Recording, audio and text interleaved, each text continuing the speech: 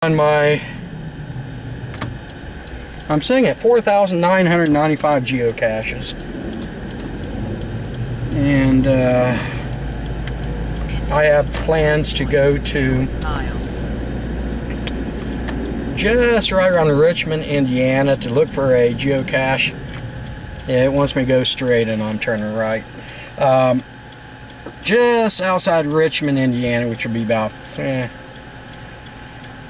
I live at the 47 mile marker, so let's say 60 plus miles.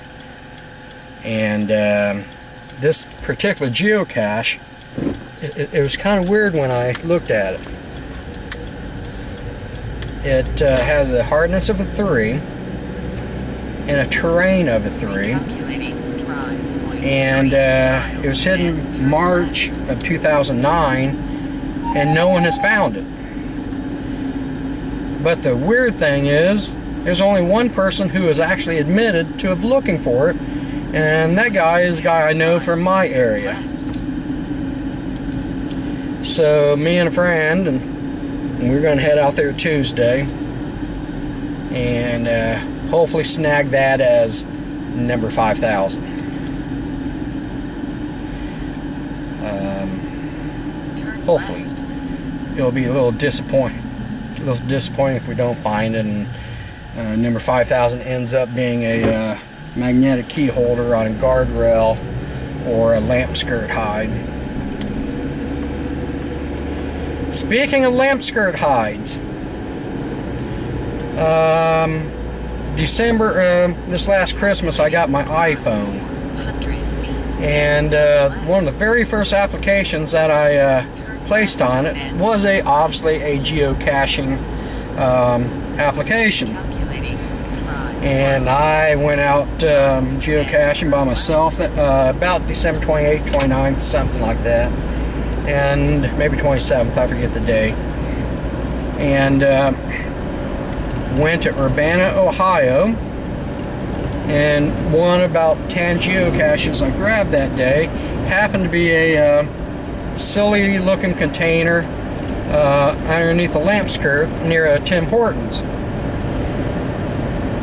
Well, I grabbed it, replaced it, you know, signed the uh, paper in the law in the container, replaced it, then got my cell phone application going, and I was looking for a couple caches to do. It was getting um, dusk, and the first four, the next four closest to me were uh, caches found in cemeteries, and um, that was not, you know, you just don't go into cemeteries when when it's dark, and some of them you're liable to get arrested. So I got about a minute and a half to explain the full story. So I get home, and five to ten minutes later, the local police show up. Their orders from the Urbana Police Department was to detain me until their detective shows up. Um, they read me my rights and all the good stuff when the detective showed up, and uh, he he had no clue what a geocache was. So uh, luckily, we had one in a in our backyard that you can only get to from the other side of the fence from the cemetery.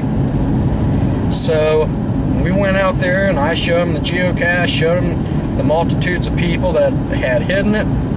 I took them on to the internet online and showed them how many other people had uh, already signed it before me and called my brother to go through the grapevine of phone numbers to uh, get the owner to call me. And the owner called, detective, uh, Enum police talked to him, maybe the detective, I forget. Long story short, know, then it made the news. They called the bomb squad, all that silly stuff. Uh, but other than being slightly embarrassing and all that, uh, the person who hit it didn't get in trouble.